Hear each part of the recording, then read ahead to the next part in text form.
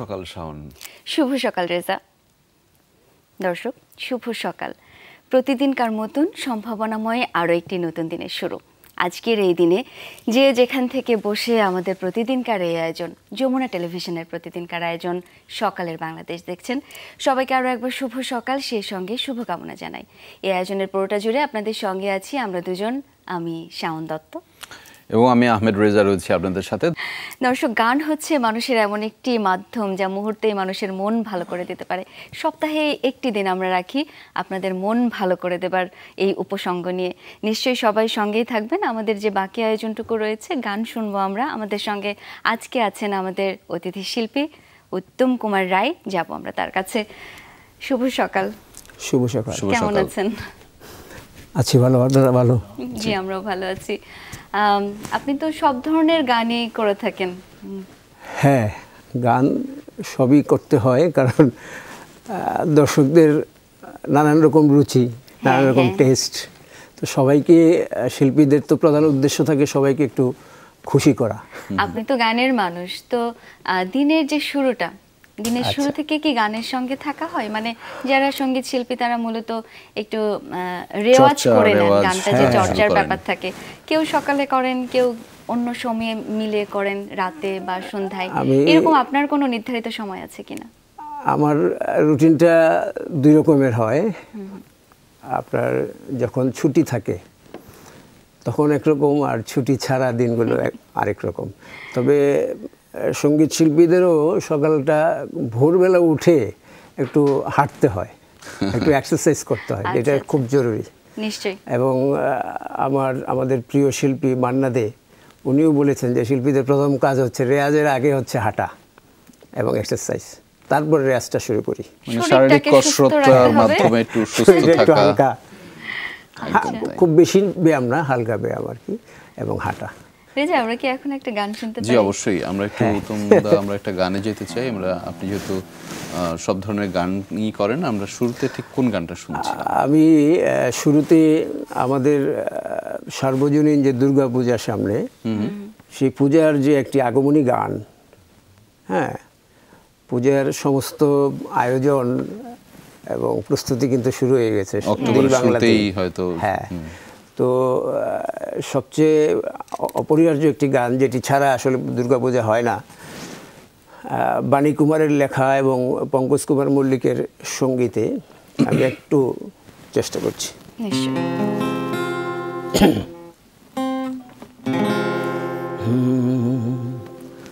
বাজলো তোমার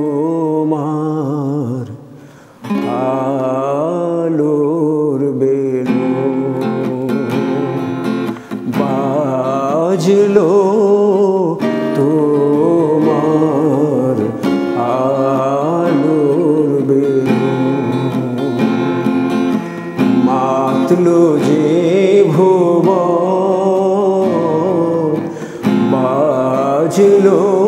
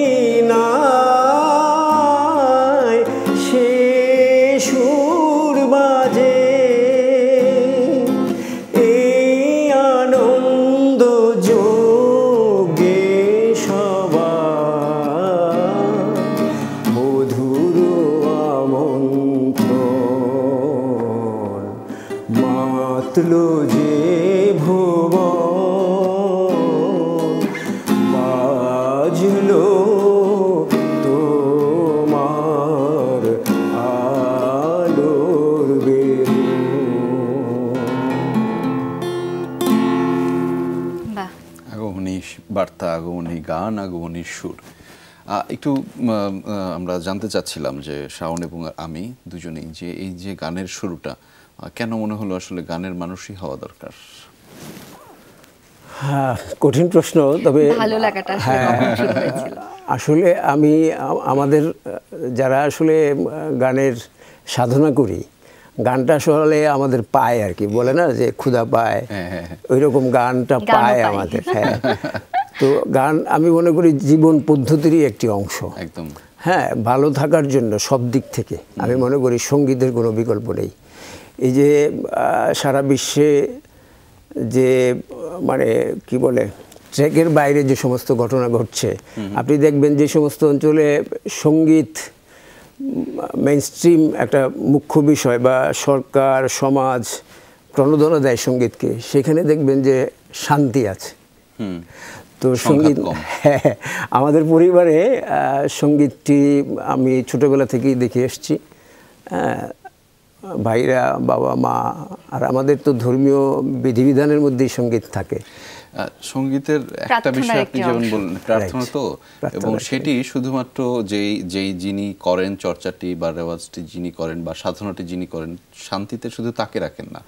তার আশেপাশে পরিবেশ মন্ডিত যে মানুষগুলো আছে যেই মানুষগুলো সঙ্গীতের শোনেন হয়তো তিনি সংগীত সঙ্গীতের মানুষ না হয়তো গাইতে পারেন না কিন্তু সঙ্গীতটা নিয়মিতভাবে শোনেন। তাকেও কিন্তু শান্তি একদম একদম। ওইটাই মূল। মূল মূল হচ্ছে সংগীত সংগীত তো শুধু শিল্পী গায় না শ্রোতাও কিন্তু গায়। এই যে আমি গাইলাম আপনারা কিন্তু ভিতরে ভিতরে গিয়েছেন। একদম শান্তির শান্তির বারোটা দিয়ে। আচ্ছা মানে শেখাটা কেমন ছিল? মানে শেখাটা আমি প্রাতিষ্ঠানিক হ্যাঁ, শিক্ষাটা প্রাতিষ্ঠানিক হাতে ধরে। প্রাতিষ্ঠানিকভাবে আমি আসলে সৌভাগ্যবান। অনেক গুণীজনের সান্নিধ্য পেয়েছি। প্রথমত আমি উপজেলায় শিশু একাডেমির একজন শিক্ষকের কাছে শিখেছি। উনি প্রয়াত দেলোয়ার হক। কোন উপজেলায় সেটা এটি আমার বাড়ি হচ্ছে বলে নেই যে বাংলার যে প্রাচীন রাজধানী সোনারগাঁ। আচ্ছা। সোনারগাঁই আমার বেড়ে ওঠা। তারপর আমি পড়াশোনা করেছি অবশ্য চট্টগ্রামে চট্টগ্রাম বিশ্ববিদ্যালয়ে। ওইখানেও একটা গানের চমৎকার পরিবেশ। আচ্ছা। ওটিও আমার গানে অগ্রগতির জন্য মানে ভূমিকা রেখেছে। ওইখানে আর্য সঙ্গীতে গান শিখেছি তারপর অনেক ওস্তাদজির সান্নিধ্য। পেয়েছি। ভারতের এবং বাংলাদেশের সেরা সেরা সব ওস্তাদজি সময় পেলে আমি তাদের নামগুলো নেব। শেখার সময়টাতে কি কোনো ধরাবাধা ছিল যে আমার এই গানগুলো ভালো লাগছে? যেমন রবীন্দ্রসঙ্গীত নজরুল গীতি।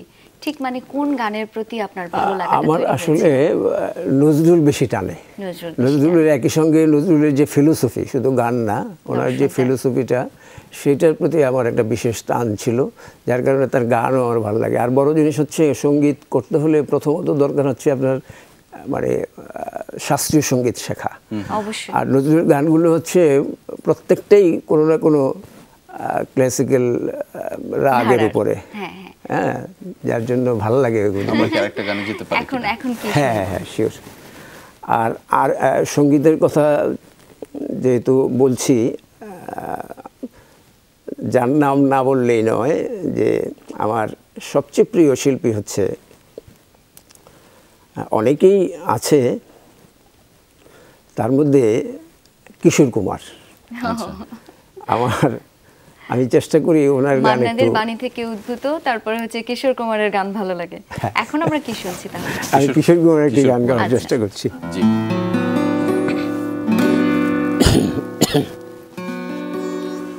হাওয়া মেঘ সরায় ফুল ঝরায় ঝিরি ঝিরি এলে বহিয়া হাওয়া মেঘ সরায় ফুল ঝরায়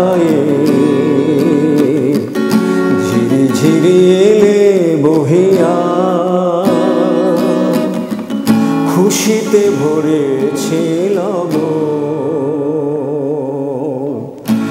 আজ ওঠে মন ভরিয়া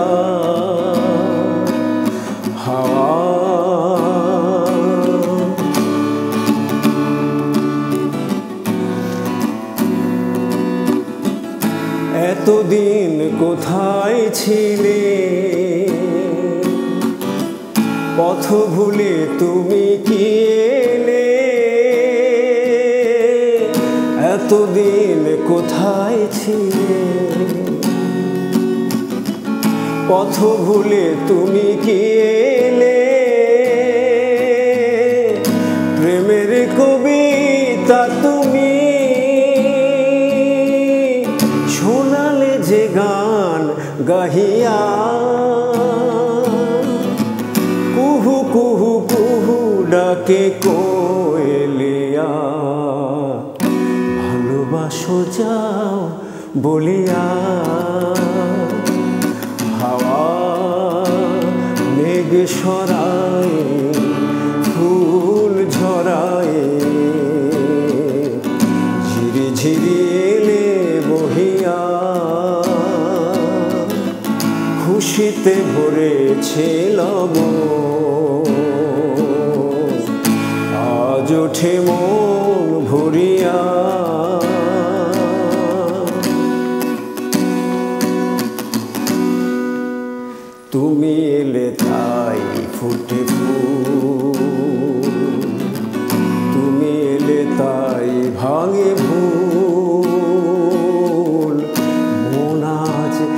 কিছু মানে না। হৃদয় সাগর হাওয়া। ছোট করে হাওয়া। হাওয়া। আচ্ছা খুব ভালো লাগছে গান শুনতে। কিন্তু। এখন বোধহয় আমাদের একটা আমরা একটা বিরতি নিতে চাই। দর্শক আমাদের সাথে হাওয়ায় থাকুন সঙ্গীতের হাওয়ায় এবং আমাদের এই সকালের বাংলাদেশের হাওয়ায়। কিছুক্ষণের মধ্যেই আমরা ফিরছি আরও গান শুনব। একদম। বিরতির পর আরও একবার শুভ সকাল। আপনারা দেখছেন সকালের বাংলাদেশ। সঙ্গে আছি শাওন রেজা আছেন এবং একদম এবং আমাদের সাথে আজকে অতিথি শিল্পী হিসেবে রয়েছেন উত্তম কুমার যিনি আমাদেরকে আসলে গান শোনাচ্ছিলেন। উত্তম দা আমরা শুনছিলাম বেশ কিছু গানই আপনার কাছ থেকে শুনছিলাম। একদম শুরুতে যে গানটি শুনলাম অর্থাৎ পূজার আগমনী বার্তা নিয়ে আপনি গাইলেন একটি গান পরবর্তীতে কিশোর কুমারের একটি গান গাইলেন। সেটি সেটিও গাইলেন। এই যে গানের যে ভিন্নতা গানের যে বিভিন্ন উম, আপনি একটু আগে একটা কথা বলছিলেন যে নজরুলের দর্শন আপনাকে প্রভাবিত করত। সো এই যে গানের ভিন্নতা গানের যে আসলে দর্শন সেটি আপনি যখন শোনান মনে হয়নি যে এটি আসলে মানুষের মধ্যে এই দর্শনগুলো ছড়িয়ে যায় এবং সঙ্গীতের যে একটা প্রভাব থাকে সেটির মাধ্যমে মানুষ আসলে প্রভাবিত হয়? একদম। আসলে গানের উদ্দেশ্য কিন্তু এটাই। প্রথমত গানের সূচনা হয়েছিল যে আমাদের সৃষ্টিকর্তার সঙ্গে মিলনের আকাঙ্ক্ষা থেকে। আর সৃষ্টিকর্তার সৃষ্টি তো আমরা সব মানুষ। সুতরাং মানুষকে সঠিক পথে চালিত করা একটা বড় দায়িত্ব কিন্তু শিল্পীদের। অনেকে মনে করেন যে গান হচ্ছে শুধুমাত্র বিনোদনের বিষয়। আসলে বিনোদনের বিষয় কিন্তু না। এটি যেমন সুখের তেমনি দুঃখের মানে প্রত্যেকটা বিষয়ের উপরেই কিন্তু দেখবেন রবীন্দ্রনাথ নজরুলের গান আছে। গান আছে। এবং তারা ওই জিনিসটাই আসলে রিলেট করতে চাচ্ছেন মানুষের সঙ্গে। হ্যাঁ সঙ্গীতের আসলে ভূমিকা কিন্তু অনেক বড়। আমরা কি আরেকটা গানে যেতে পারি এখন? হ্যাঁ শিওর গান থেকে ফিরে এলে আমার মাথায় একটা প্রশ্ন আসছে আমি সেটা করব আগে গান আচ্ছা, শুনব। আমি এখন কি শুনব এরপরে আমরা? আমি একটু বৈচিত্র্য রাখার চেষ্টা করছি। এবারে আমি চেষ্টা করব সুবীর সেনের একটি গান খুব বিখ্যাত গান আহ, সারাদিন তোমায় ভেবে। বাহ।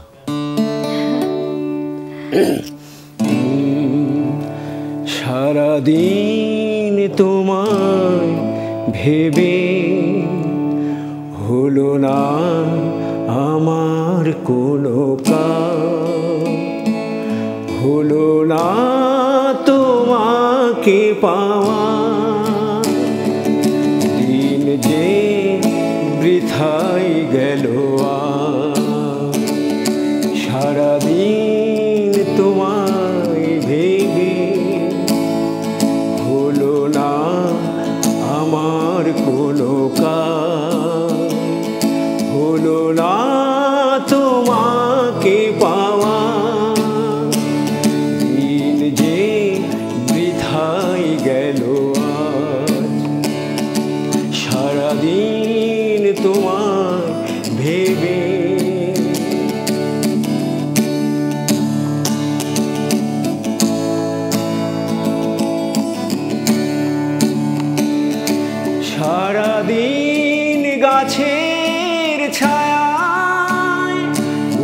আসে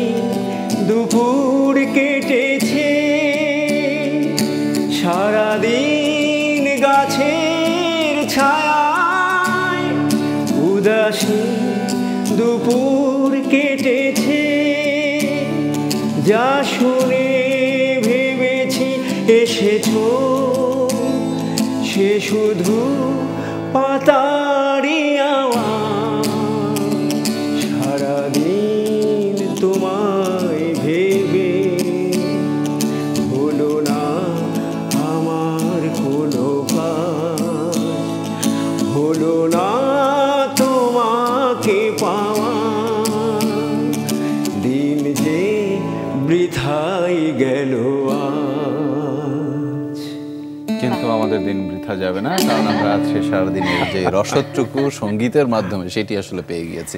শাওন আপনার প্রশ্নটি? আচ্ছা আমার প্রশ্নটা হচ্ছে ওই যে আপনার গানের সঙ্গেই সম্পর্কিত। সেটি হচ্ছে একটা গান যখন আপনার মনে হয় যে এই গানটা আমার তুলতে হবে। গান তোলারও তো একটা ব্যাপার থাকে গান শুনে ভালো লাগে। এই ভালো লাগাটা আসলে কীভাবে শুরু হয়? গানের বাণীটা শুনে গানের যে কথাগুলো থাকে সেগুলো দিয়ে নাকি সুরটা আপনাকে টানে? খুব গুরুত্বপূর্ণ প্রশ্ন। আসলে গান কিন্তু বাণী এবং সুরের দুটির সম্মিলনের বিষয় হ্যাঁ? তবে অবশ্যই আমরা যারা মানে সঙ্গীতের অনেকে হয়তো মাইন্ড করে কথাটা শুনলে যে শুদ্ধ সংগীত। হ্যাঁ কিন্তু আমরা আসলে মূলধারার গান যেহেতু করি আমরা বাণীটা কিন্তু খুব দেখি।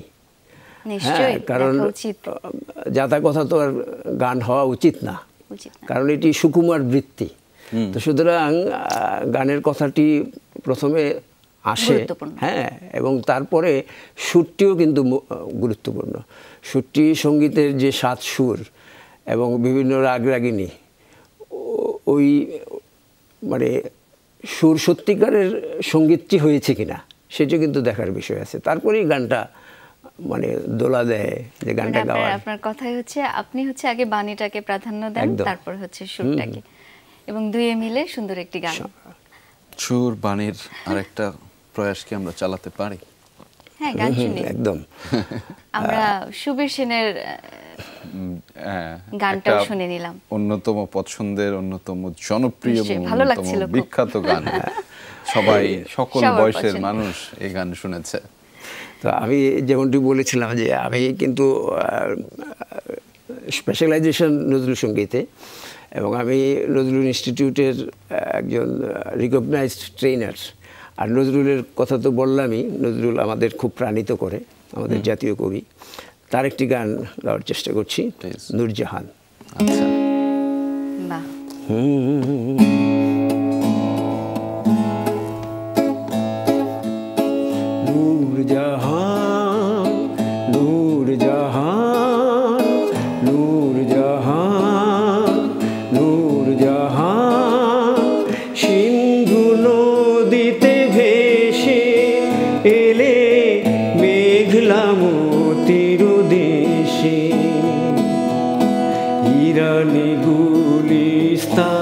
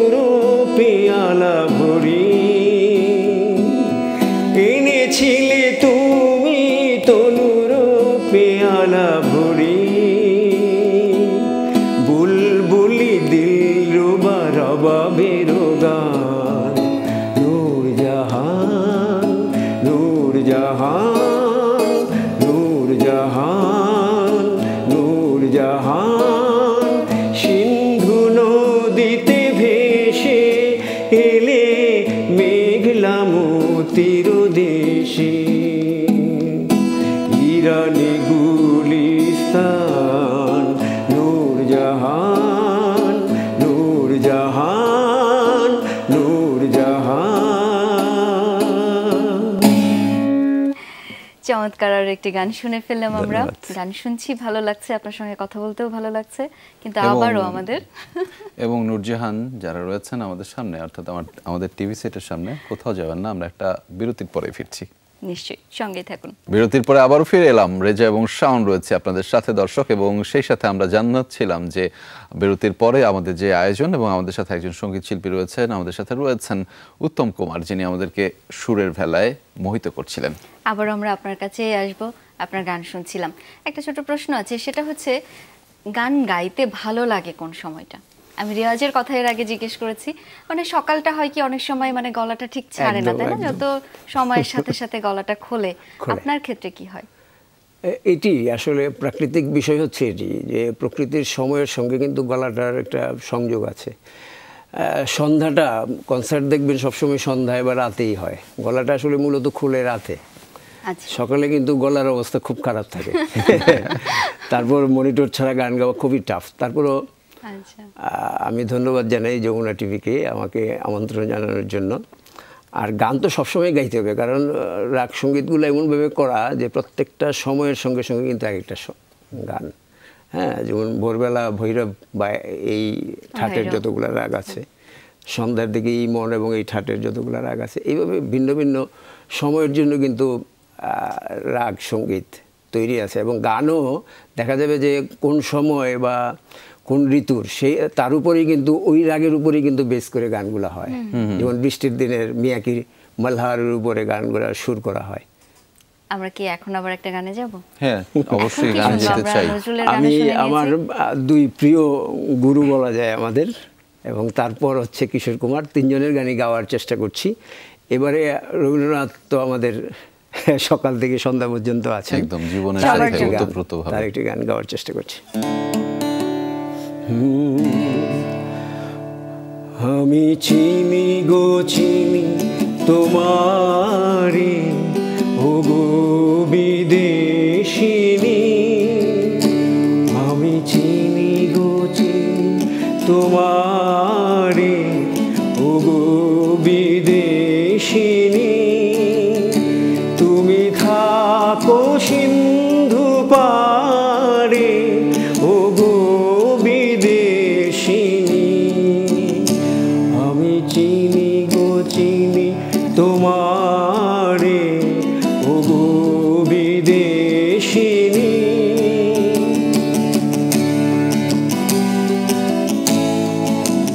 তোমায় দেখেছি শারদ প্রাতে, তোমায় দেখেছি মাধবী রাতে, তোমায় দেখেছি। হৃদি মাঝারে ও গো বিদেশিনী, আমি আকাশে কান শুনেছি শুনেছি তোমারই গান। আমি তোমারে সপেছি প্রাণ বিদেশিনী। আমি চিনি গো চিনি তোমারে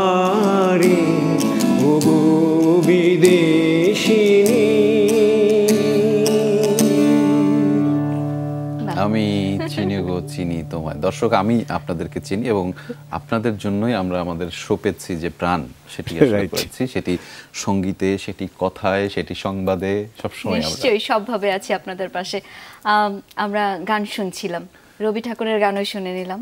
রবীন্দ্রনাথ নজরুল তো আসলে আমাদের জীবন দর্শন এবং আমরা আসলে প্রভাবিত হই সেই মাধ্যমগুলোতে এবং তার কথার মাধ্যমে। এই যে আমরা আহ, বিরতিতে যাওয়ার আগে একটি বিষয় বলছিলাম যে সংগীত আসলে প্রভাবিত করে।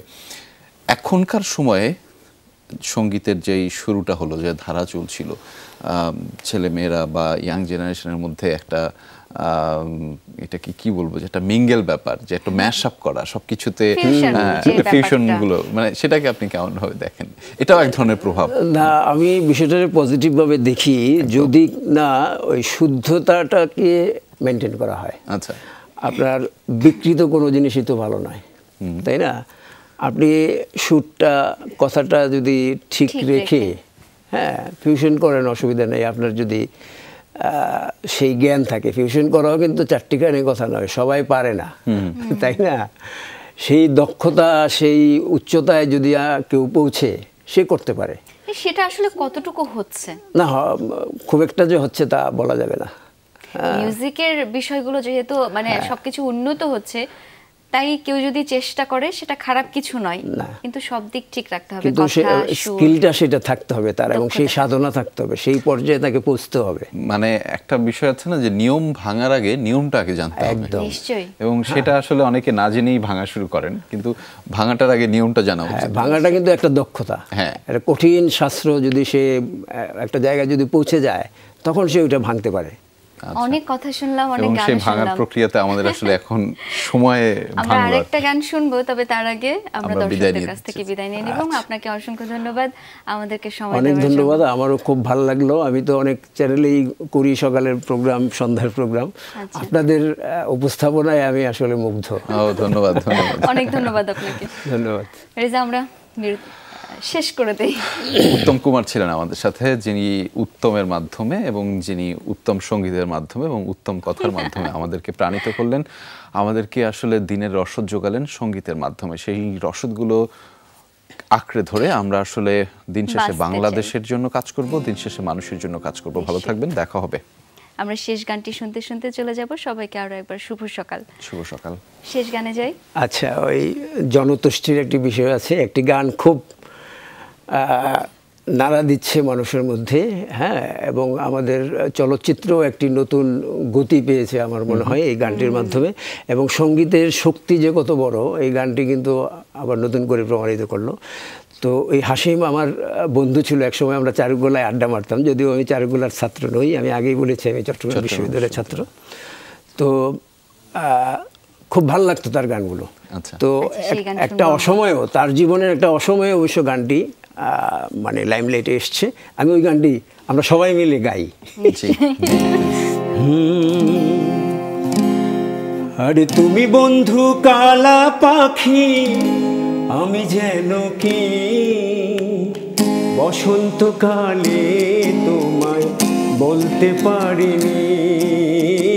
বসন্তকালে তোমায় বলতে পারিনি। তুমি বন্ধু কালা পাখি, আমি যেন কি বসন্তকালে তোমায় বলতে পারিনি। বসন্তকালে তোমায় বলতে পারিনি। সাদা সাদা, কালা কালা, রং জমেছে সাদা, কালা। সাদা সাদা, কালা কালা রং জমেছে সাদা কালা হইছি আমি মন পাগলা বসন্তকালে